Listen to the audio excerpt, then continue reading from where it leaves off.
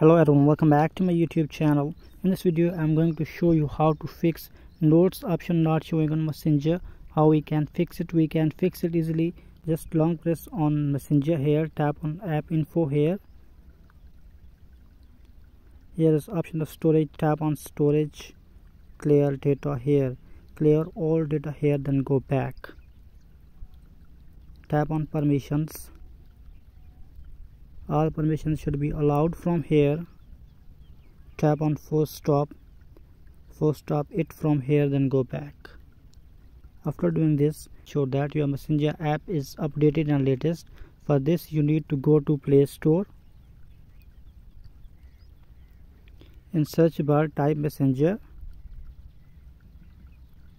Make sure that it is updated and latest. If it is not updated then update it first from here then go back after doing this open messenger. Tap on three lines here. Tap on settings here. Scroll down. Tap on report. Technical problem here. Report anyway. Tap on includes. Briefly explain what happened.